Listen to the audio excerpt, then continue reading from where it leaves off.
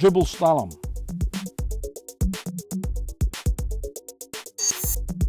The cone's a metre apart in a straight line.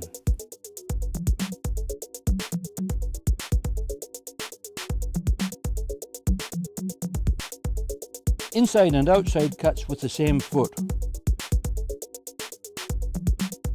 Right foot on the way up and left foot only on the way back.